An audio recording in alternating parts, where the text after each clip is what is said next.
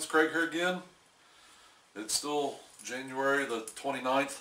Uh, as I was doing the video on that Poulan saw showing the base gasket leak, uh, UPS showed up with a special treat that I had bought off of eBay. Uh, I purchased this for $31. Uh, $35 shipping, so I've got a total of $66 in it. This is my first real attempt into going into the um, antique, true antique restorations.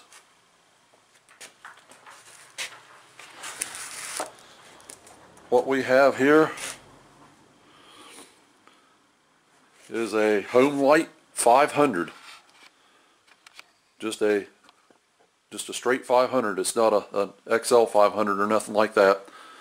I'll show you the tag here in just a second. Uh, the bar on it I believe is 16 inches.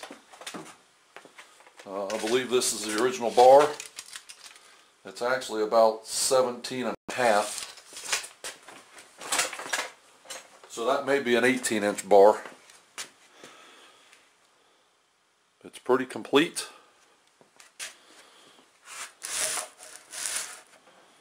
It is locked up, it does not pull over, and that was described in the um, posting uh, that when I bought it that it was seized.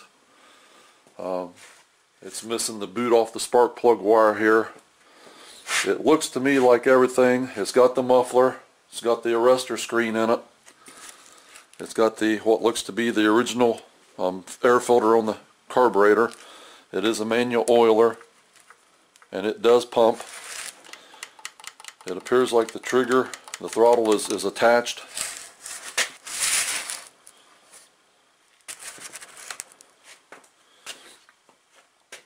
Um, the only thing that I can see right offhand that's missing is there's supposed to be a chip guard or a chain guard chip deflector and it doesn't cover the whole clutch assembly up it is, the clutch is free. That is a hard nose bar. It's a, I believe that's a 7 16 chain.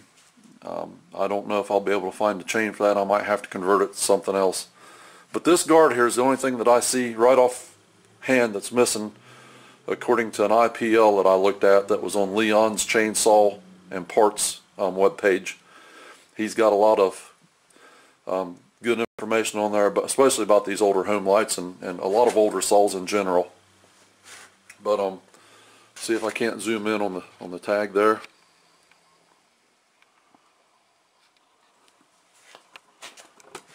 Sorry about that, guys. Let this thing autofocus, if it will. I may have to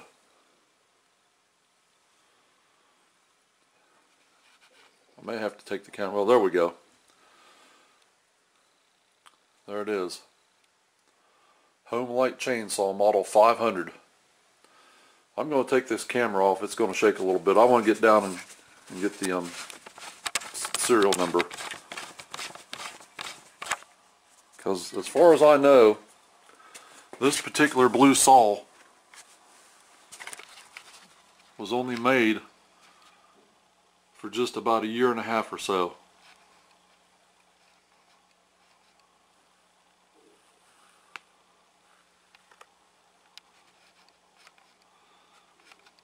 One zero eight zero zero zero nine. That's the serial number. So I'm going to try to find out when this saw was made, but this color blue, light metallic blue, was only made for about a year and a half. Uh, like January of 61 I think it said is when they switched from this blue over to the more common Homelite red.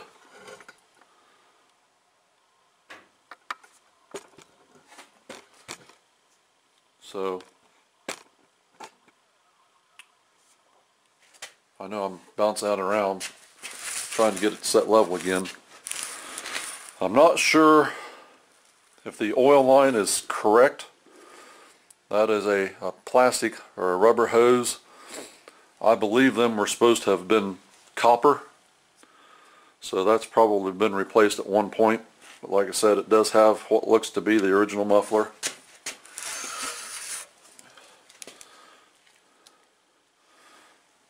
You can still see, um, you probably can't see down in there, but the hose for the carburetor still hooked up to it. I can see it.